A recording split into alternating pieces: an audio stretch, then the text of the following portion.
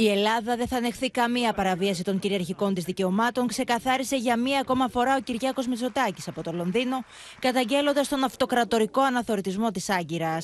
Turkey is very clearly pursuing a revisionist agenda abroad, uh, projecting uh, sort of old imperial uh, ambitions uh, and thus causing problems with all its neighbors, including um, uh, Greece. We have been, uh, on the one hand, clearly committed to uh, an open dialogue with Turkey. At the same time, we've made it very clear that we will defend our sovereignty and our sovereign rights. Την ίδια ώρα τη σκητάλη των fake news από τον Ερντογάν, ο οποίο μίλησε για δίθεν τουρκική μειονότητα στη Θράκη, πήρε ο Υπουργό Άμυνα Χολουσιακάρ, ο οποίο κάνοντα το άσπρο μαύρο, κατηγόρησε την Ελλάδα ότι απειλεί τη σταθερότητα στην περιοχή. Anlaşılmaz bir şekilde Yunanlı komşularımız, komşumuz Yunanistan, özellikle bu belli siyasiler, onun üzerine durmak istiyorum.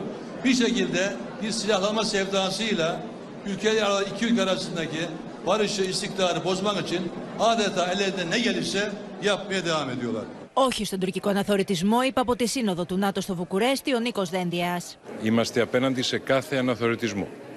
Και οι πάγιες αρχές μας είναι η τήρηση του διεθνούς δικαίου και η προστασία της ανεξαρτησίας και της αδεφικής ακαιρεότητας όλων των κράτων.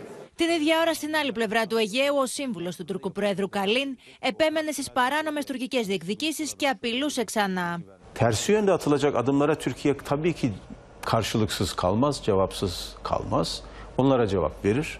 Türkiye bunlara tepkisiz kalmaz. Türkiye aleyhine propaganda, faaliyet vesaireler yapıldığında Türkiye bunları tepkisiz bırakmaz. Με το σκληρό μπραντεφέρ Ελλάδα-Τουρκία να βρίσκεται σε πλήρη εξέλιξη με επίκεντρο τις παράνομες συμφωνίες που έχει υπογράψει άγκυρα με την προσωρινή κυβέρνηση της Τρίπολης, τα τουρκικά μέσα ενημέρωσης προαναγγέλουν κοινή αντίδραση Τουρκίας και Λιβύης για την επέκταση των ερευνών της ExxonMobil νοτιοδυτικά της Κρήτης. Libya'nın tepkisini çekebilir.